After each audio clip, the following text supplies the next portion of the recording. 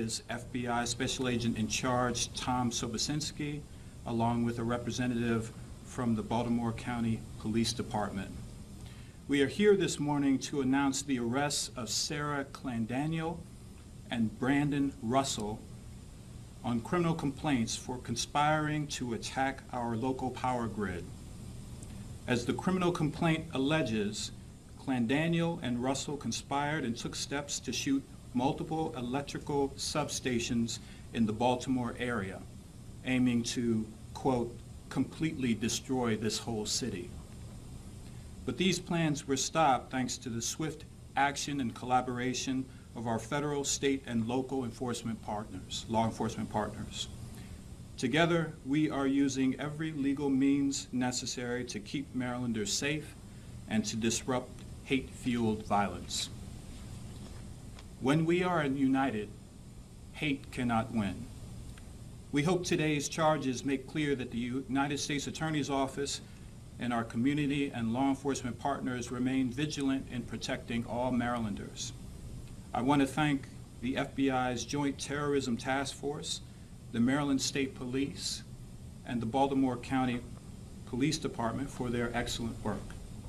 I also want to acknowledge the valuable contributions of the Department of Justice's National Security Division, the United States Attorney's Office for the Middle District of Florida, including U.S. Attorney Roger Handberg and his team, as well as the FBI field offices for the Middle District of Florida, Washington, D.C., and New York. I also want to acknowledge Assistant U.S. Attorney Kathleen Gavin, the Chief of our National Security and Cybercrime Section, who is handling the case. And now I will turn it over to FBI Special Agent in Charge Sobocinski. Thank you, Barron. Good morning. I'm Tom Sobocinski, Special Agent in charge of the FBI's Baltimore Field Office. Marylanders can rest assured that a threat to disrupt their daily lives by attacking the local power grid has been stopped. As alleged in the complaint, Sarah Beth Clendaniel and Brandon Russell conspired to inflict maximum harm on the power grid, a key component of our critical infrastructure. The accused were not just talking, but taking steps to fulfill their threats and further their extremist goals. Russell provided instructions and location information. He described attacking the power transformers as the greatest thing somebody can do. In her own words, Clendaniel said she was determined to do this.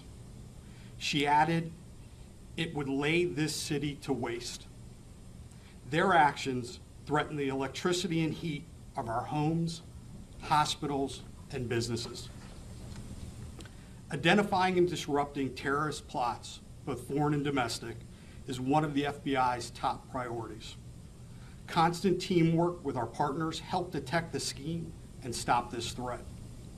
I am grateful for the FBI's Joint Terrorism Task Force, the Baltimore County Police Department, and the Maryland State Police, as well as other law enforcement and private sector partners who work every day to prevent this type of violence from affecting our community. To those extremists looking to disrupt society and cause chaos in our communities, we will not allow nor will we tolerate this.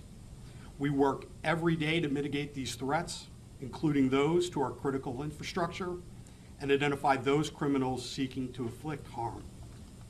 As always, we ask the public to report anything they consider suspicious to law enforcement.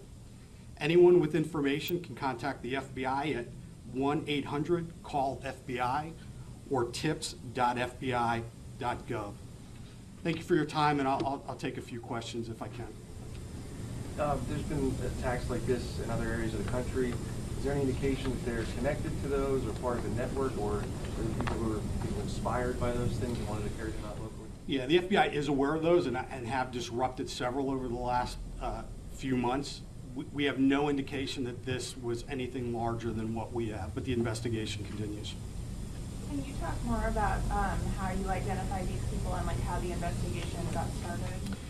Yeah, other than what's in the criminal complaint, I can't. Um, I will just state that as soon as the FBI was involved, we did lo- work with our, our state and local partners as well as the public sector uh, to make sure that, that we had everything we needed to disrupt this before anything happened. Was the FBI um, notified from local officials? I can't get into how we found out about this.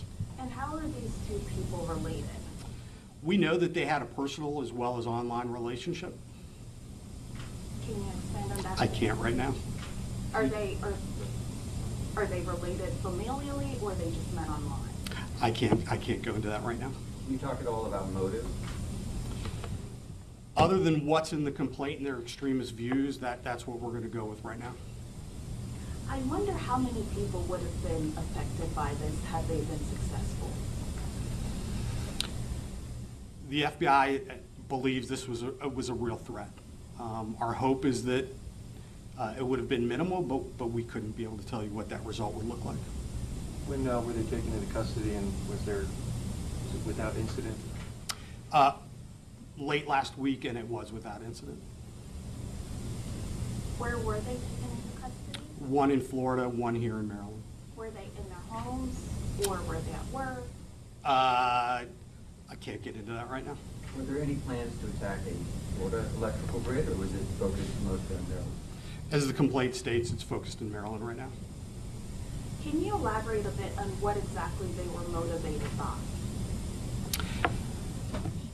They had extremist views, and, and and in order to further those views, they hoped that conducting this violent act was going to bring light to that. What types of extremist views? Um, The FBI views them as racially or ethnically motivated uh, extremists.